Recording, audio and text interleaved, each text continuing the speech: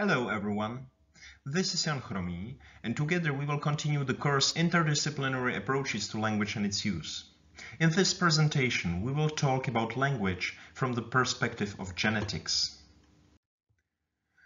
It is clear that in case language would be innate, it would be necessarily genetically based. What we can thus ask is whether there are any genes responsible for language. If we would be able to identify a language gene or genes, we may find the answer for language innateness. There is also another interesting question in the field of language and genetics, maybe a bit surprising one.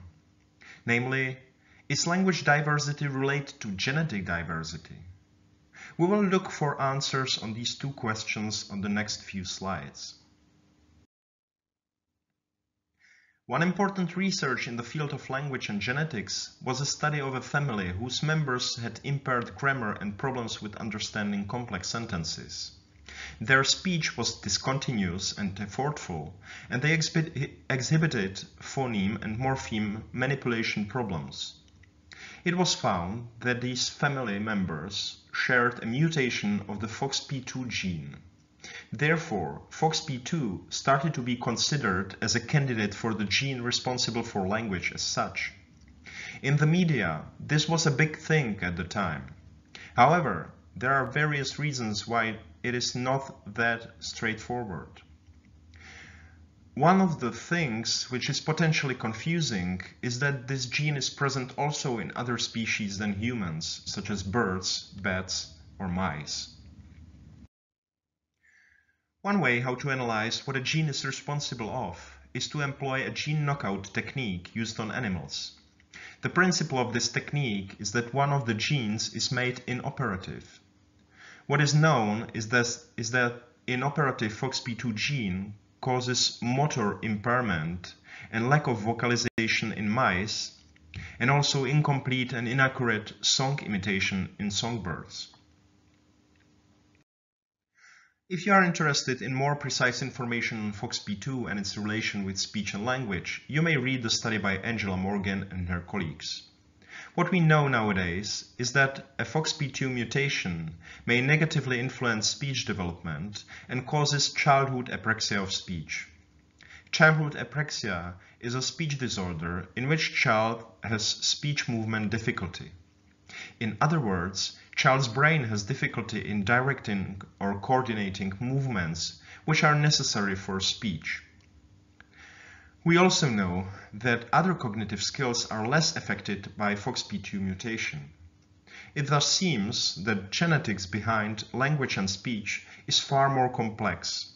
It does not seem plausible that there would be one gene which would cause the ability to acquire and use a language.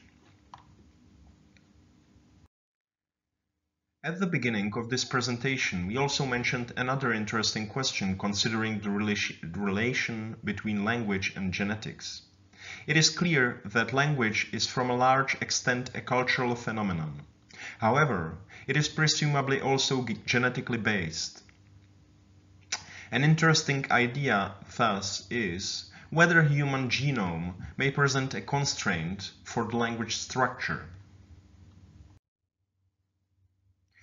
This idea has been proposed by language geneticist Dan Dediu, who argued that genetic biases can affect the trajectory of language change, and also that genetic factors can actually explain the distribution of language features across the world and can play a role in explaining features shown by most languages. One of the examples of this relation may be linguistic tone. Many languages of the world are tonal, and they have an uneven geographical distribution. Dan Dediu argues that there is a strong relationship between the distribution of tone languages in the world and the population frequencies of derived haplogroups of the genes ASPM and microcephalin. In other words, he claims that these two genes may present a genetic bias which affects the use of the linguistic tone in the language. In case you are interested in more information on, and arguments on this topic, read the paper cited on this slide. Before we will end this presentation, I have one more reading tip for you. I already mentioned Dan as a prominent language geneticist. In case you would be interested in the relations between language and genetics, you should read his brilliant book, An Introduction to Genetics for Language Scientists.